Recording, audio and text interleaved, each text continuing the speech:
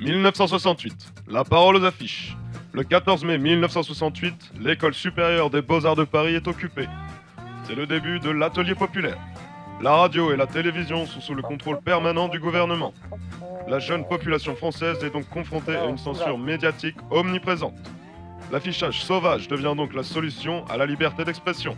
Les élèves des beaux-arts sont alors sollicités par des étudiants et des ouvriers venus de la France entière pour leur commander des affiches. Ils votent ensuite pour ou contre la validation d'une affiche à main levée, puis, plus tard dans la nuit, les distribuent et les collent eux-mêmes dans la rue.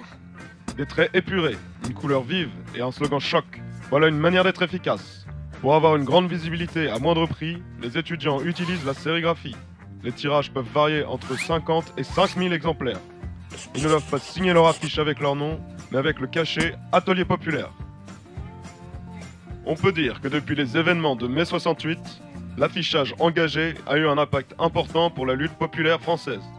C'est d'ailleurs aux Arts Déco que Pierre Bernard, Gérard Paris-Clavel et François Millet se rencontrent et décident de fonder le collectif révolté Grappus. Les graphistes engagés ont ensuite produit de nombreuses œuvres, tout au service de l'intérêt public.